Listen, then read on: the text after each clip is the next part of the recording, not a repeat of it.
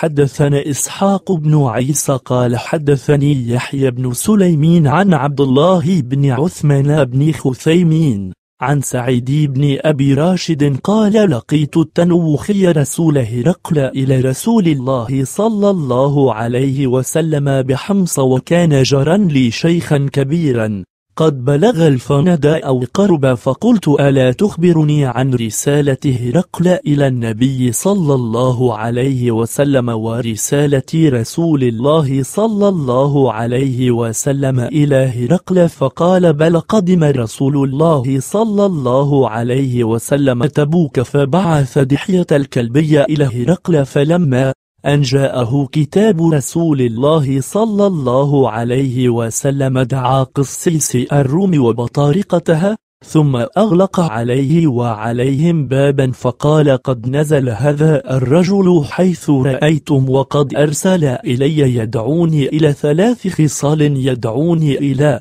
إلى أن أتبعه على دينه أو على أن نعطيه مالنا على أرضنا والأرض أرضنا أو نلقي إليه الحرب والله لقد عرفتم فيما تقرؤون من الكتب ليأخذن ما تحت قدمي فهلم نتبعه على دينه أو نعطيه مالنا على أرضنا فانخروا نخرة رجل واحد حتى خرجوا من ورانسهم وقالوا تدعون إلى أن ندع النصرانية أو نكون عبيدا لأعرابي جاء من الحجاز فلما ظن أنهم إن خرجوا من عنده أفسدوا عليه الروم رفأهم ولم يكد وقال إنما قلت ذلك لكم لأعلم صلابتكم على أمركم ثم دعا رجلا من عرب تجيب كان على نصارى العرب فقال ادعوا لرجل حافظا للحديث عربي اللسان أبعثه إلى هذا الرجل بجواب كتابه فجاء بي فدفع إلي هرقل كتابا فقال اذهب بكتابي إلى هذا الرجل فما ضيعت.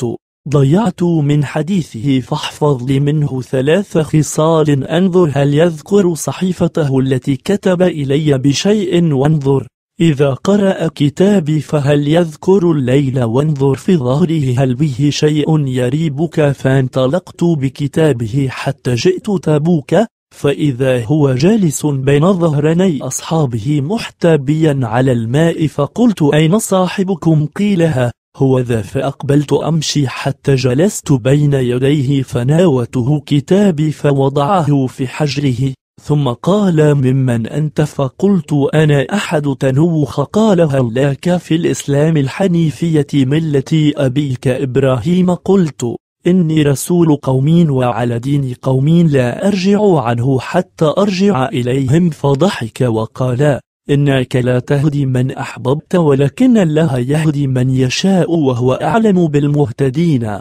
بالمهتدين يا أخ تنوخ إني كاتبت بكتاب إلى كسر فمزقه والله ممزقه وممزق ملكه وكاتبت إلى النجاشي بصحيفة فخرقها والله مخرقه ومخرق ملكه وكاتبت إلى صاحبك بصحيفة فأمسكها فلن يزال الناس يجدون منه بأسا ما دام في العيش خير قلت هذه أحدى الثلاثة التي أوصاني بها صاحبي وأخذت سهما من جعبتي فكاتبتها في جد سيف ثم أنه ناول الصحيفة رجلا عن يساره قلت من صاحب كتابكم الذي يقرأ لكم؟ قالوا معاوية فإذا في كتاب صاحبي تدعوني إلى جنة عرضها السماوات والأرض أعدت للمتقين فأين النار؟ فقال رسول الله صلى الله عليه وسلم سبحان الله أين الليل؟